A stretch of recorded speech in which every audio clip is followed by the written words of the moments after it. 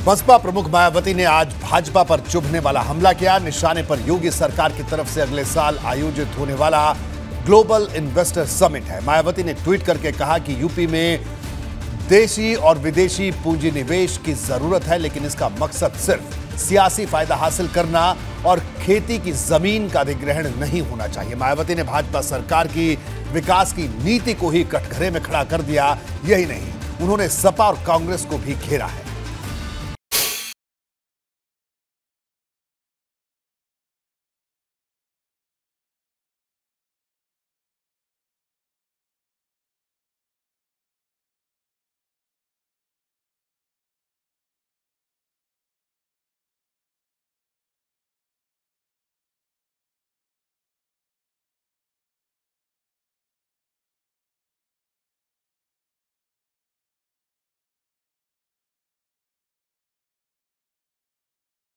पहले की सपा सरकार को कटघरे में खड़ा किया। फिर सवालों की दिशा कांग्रेस की ओर मोड़ दी। बसपा अध्यक्ष मायावती ने अपने पहले ट्वीट में भाजपा और सपा को निशाना बनाते हुए लिखा, यूपी में बीएसपी सरकार ने लोगों को रोज़गार तथा बुनियादी सुविधाओं से युक्त नए पक्के मकान व भूमि आदि भी फ्री में लाखों परिवारों को आवंटित करके यहाँ गरीबों का जीवन धन्य होते हुए सभी ने देखा।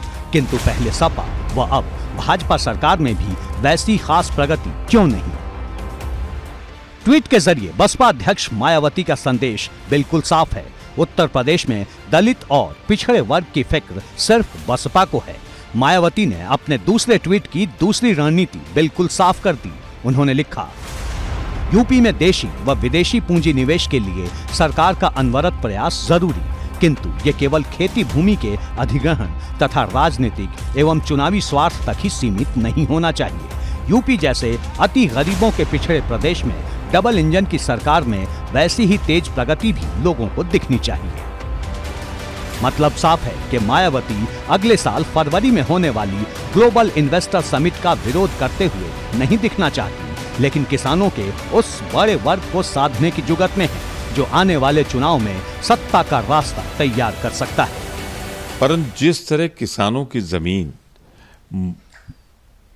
कौड़ियों के दाम ली जा रही थी, जिस तरह किसान विरोध कर रहे थे, उन पर बल प्रयोग हो रहा था। और जहाँ से यमुना एक्सप्रेस वे गुजरा, उसमें आवास के नाम पर, इंडस्ट्री के नाम पर, जो ज़मीन आवश्यकता से कई गुना अधिक और जो सरकार का रेट था उससे कम पे ली जा रही थी। हमारा विरोध उसका था। ऐसे में बसपा अध्यक्ष मायावती की कोशिश उन तमाम परियोजनाओं से अपना नाम जोड़ने की है, जो मौजूदा भाजपा सरकार में चल रही है और बसपा के कार्यकाल में धरातल पर नहीं उतर पाई। मायावती ने अपने तीसरे ट्वीट में लिखा, यूपी की समग्र प्रगति, विकास व लोगों की रोजी रोटी के साथ ही उनकी सुरक्षा व आत्मसम्मान के लिए बीएसपी की हुकूमत ने जो कुछ खास काम किया, वो अपने बलबूते पर किया गया। यमुना के साथ गंगा एक्सप्रेसवे व जेवर एयरपोर्ट भी तब बन जाता, अगर केंद्र की कांग्रेस सरकार ने थोड़ा सहयोग किया होता। कांग्रेस पर सीधा निशाना साधे जाने से पार्टी नेता भड़क गए। और ये विरोध हमेशा हम करेंगे, चाहे जो भी सरकार रही हो, जो किसानों की ज़मीन को विकास के लिए ले, परंतु उसका उचित मुआवजा नहीं देगी तो हम निश्चित रूप से हमारा विरोध उस बिंदु पे था, कभी यमुना एक्सप्रेसवे के निर्माण पर हमारा विरोध नहीं था।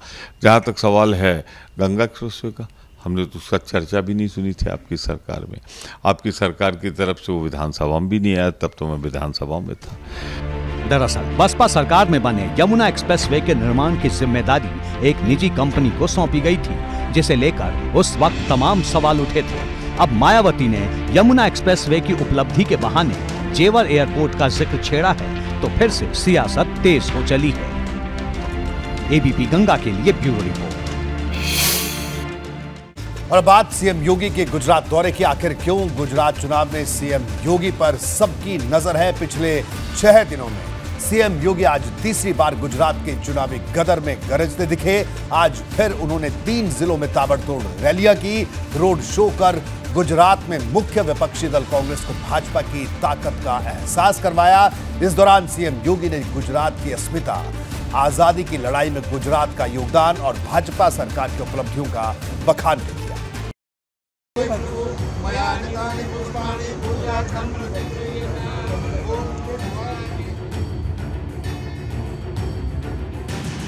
यूँ तो गुजरात के चुनावी गदर में तमाम दिग्गज प्रचार पराक्रम दिखा रहे हैं। लेकिन सबकी नज़र यूपी के मुख्यमंत्री योगी आदित्यनाथ पर है, जिनकी शख्सियत भाजपा का गढ़ माने जाने वाले गुजरात में अहम हो चली है। पिछले छह दिनों में तीसरी बार मुख्यमंत्री योगी आदित्यनाथ गुजरात पहुँचे। भगवान कृष्ण की कर्मभूमि द्वारका से चुनावी दंगल में कदम रखा। इससे पहले द्वारकाधीश मंदिर में पूजा अर्चना कर द्वारिकाधीश का आशीर्वाद लिया। तीसरी बार गुजरात पहुँचे मुख्यमंत्री योगी आदित्यनाथ ने द्वारका विधानसभा क्षेत्र, कच्छ ज़िले की रापर विधानसभा सीट, मोरबी ज़िले की धांगधा विधानसभा क्षेत्र में जनसभा को संबोधित किया, जहाँ से धर्म की धुरी पर, भावनाओं पर सवार आस्था और गुजरात की अस्मिता की उस डोर को साधा, जो विधानसभा चुनाव में भाजपा की लगातार जीत का रास्ता प्रशस्त कर सकती है। में भगवान श्री राम का भव्य मंदिर का निर्माण का कार्य प्रधानमंत्री मोदी जी की इच्छा शक्ति और सूझबूझ का परिणाम है पहली बार हुआ जब कोई भारत का प्रधानमंत्री अयोध्या में जाकर रामलला का दर्शन करे और भगवान के भव्य मंदिर के निर्माण के कार्य को अपने हाथों से प्रारंभ करने का कार्य भी करे ये पहली बार हो रहा है। अगले वर्ष 2023 के अंत में जब भगवान राम का भव्य मंदिर का निर्माण हो जाएगा? मुद्दा आर्थिक हो या फिर राजनीतिक या फिर देश की सुरक्षा का। मुख्यमंत्री योगी आदित्यनाथ ने हर एक मुद्दे पर गुजरात और केंद्र की भाजपा सरकार की उपलब्धियों को जनता के सामने रखा। फिर कांग्रेस की सरकार ने सरदार वल्लभ भाई पटेल को सम्मान न मिलने के सवाल को सियासत के आसमान में तान दिया। आज भारत की सीमाएँ सुरक्षित हैं। देश के अंदर आतंकवाद, नक्सलवाद अलगाववाद पूरी तरह समाप्ति की ओर है। कश्मीर में धारा 370 को समाप्त करने का जो दृढ़ इच्छा शक्ति प्रधानमंत्री मोदी जी ने और गृह मंत्री अमित शाह जी ने निर्णय लिया वो आतंकवाद की ताबूत का अंतिम कील साबित हो रही है। गुजरात में मुख्यमंत्री योगी धुआंधार सभाएँ कर रहे हैं। शाम में भी सीएम योगी ने सूरत के वराछा रोड विधानसभा क्षेत्र में लंबा रोड शो किया।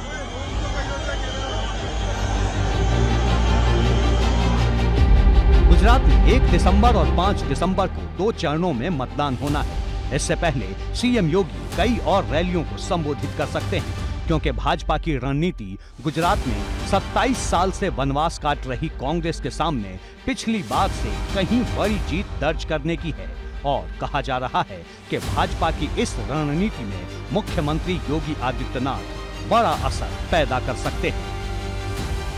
एबीपी गंगा के लिए ब्यूरो रिपोर्ट। और बात माफिया अतीक अहमद की। काली दौलत पर नई कार्रवाई की। प्रयागराज के झूसी में अतीक की तेरह बीघे में फैली।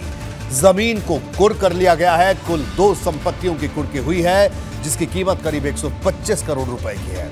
अतीक ने यह ज़मीन अपने पिता और चाचा के नाम से खरीदी थी और इस पर बाग लगा रखा था। लेकिन आखिरकार इसकी सच्चाई का खुलासा हो ही गया और अब कुर्की का एक्शन भी शुरू हो चुका है। इक्कीस ग्यारह दो हज़ार बाईस में पारित निर्णय आदेश के तहत तुर किया जाता है। यदि इसमें कोई भी व्यक्ति अनधिकृत प्रवेश करेगा तो उसके विरुद्ध नियमानुसार विधिक कार्रवाई अमल में लाई जाएगी। ये माफिया अतीक अहमद के काले साम्राज्य के अंत की दिशा में बढ़ते कानून के कदमों की मुनादी है। हर बदलते दिन के साथ अवैध तरीके से खड़ा अतीक अहमद के आर्थिक साम्राज्य की बुनियाद हिल रही है। इसी कड़ी में प्रशासन ने उसकी दो संपत्तियों को कुर्क किया है, जिनकी कीमत सवा अरब रुपए बताई जा रही है। योगी राज में माफियाओं, बाहुबलियों और दूसरे अपराधियों के खिलाफ कार्रवाइयों का सिलसिला थमने का नाम नहीं ले रहा है। इसी कड़ी में आज प्रयागराज की पुलिस माफिया अतीक अहमद की एक खिलाफ एक बड़ी कार्रवाई कर रही है और इस वक्त हम प्रयागराज के झूसी कस्बे के हवेलिया इलाके में मौजूद हैं, जहाँ आप देख सकते हैं कि माफिया अतीक अहमद की बेस कीमती प्रॉपर्टी को कुर्क किया जा रहा है, कुर्क करने की कार्रवाई की जा रही है। आप देख सकते हैं कि यहाँ पर बड़ी संख्या में पुलिस के लोग हैं, पीएसी की तैनाती की गई है और ये वो बेशकीमती ज़मीन है, वो बेशकीमती प्रॉपर्टी है जिसे प्रशासन ने कुर्क पुलिस ने प्रयागराज के झूसी क्षेत्र में करीब तेरह बीघे में फैली। दोनों संपत्तियों पर कुर्की का बोर्ड लगा दिया है।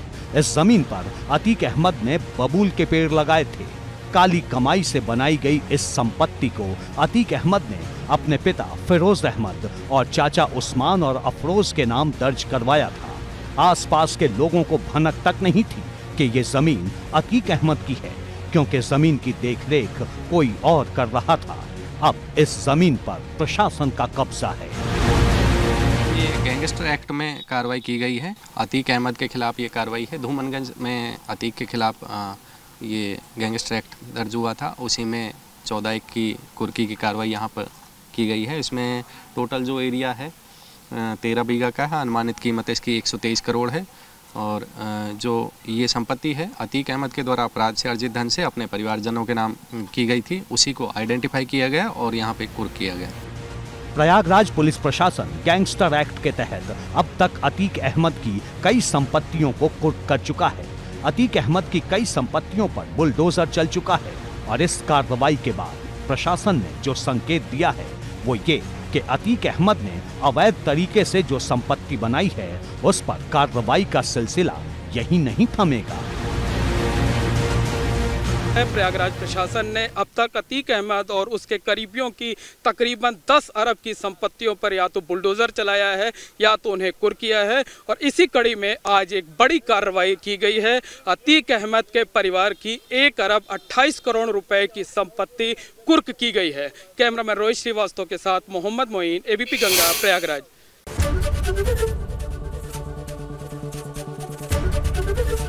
एबीपी गंगा। खबर आपकी जुबा आपकी।